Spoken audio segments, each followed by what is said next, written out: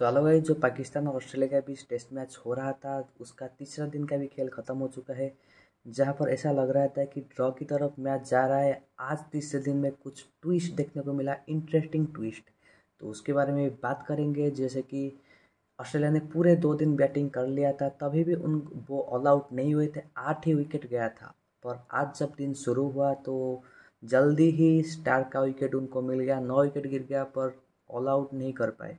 वो दो सौ छप्पन पर नौ विकेट गिरा और वो डिक्लेयर कर दिए ऑस्ट्रेलिया टीम ने। उसके बाद जब पाकिस्तान बल्लेबाजी करने आया, ऐसा सबको लग रहा था कि शायद ये भी बहुत लंबी खेले, लंबे खेले, पारी खेलेंगे और ड्रॉ की तरफ़ मैच जाएगा, पर ऐसा नहीं हुआ। ऑस्ट्रेलिया ने वापसी किया और गजब की रिवर्स स्विंग बॉलिंग देखने को मिली मिचेल स्टार्क से।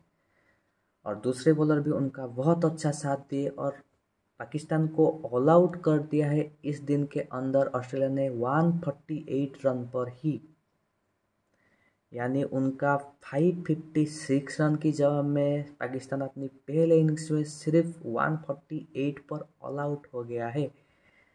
तो अगर बात करेंगे तो पाकिस्तान की तरफ़ से सिर्फ़ बाबर आज़म ने कुछ इंटेंट दिखाई 36 रन की पारी उन्होंने खेला, पर और कोई टिकते हुए दिखाई नहीं दिए।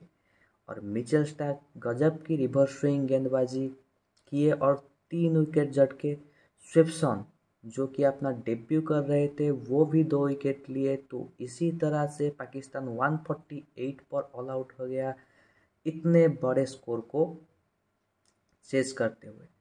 उसके बाद ऑस्ट्रेलिया फिर से बैटिंग ले लिया।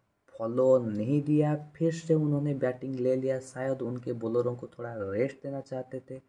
और अभी तक जब तीसरे दिन का स्टम्प्स हो गया है, तब तक ऑस्ट्रेलिया ने 81 रन फिर से बना लिया है और सिर्फ़ एक विकेट ही उनका गया है। तो यानी अगर टोटल लीड की बात करें तो 189 रन की लीड अभी तक हो चुके हैं। और ऑस्ट्रेलिया की क्रीज पे नॉट आउट है उस्मान ख्वाजा, जो कि बहुत ही गजब की शतक लगाए थे पहले इनिंग्स में, और लैम्बूचा ने भी उनके साथ नॉट आउट है और दोनों ही अटैकिंग क्रिकेट खेल रहे हैं, क्योंकि उस्मान ख्वाजा अभी forty eight ball thirty five run बना चुके हैं, और लैम्बूचा ने थर्टी सेवन रन बना चुके हैं थर्टी एट बॉल पर, और एक ही विकेट गिरा है, जो है डेविड वार्नर। तो देखते हैं कैसा आगे बढ़ता है मैच। कुछ इंटरेस्ट तो जगह है ज़रूर मैच में।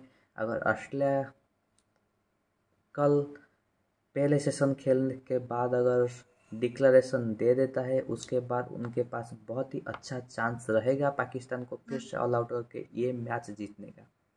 तो देखते हैं क्या होता है। चौथे दिन की भी अपडेट लेके आपके साथ जुड़ेंगे तो चैनल को सब्सक्राइब करिए दोस्तों। अभी मैं चलता हूँ बाय बाय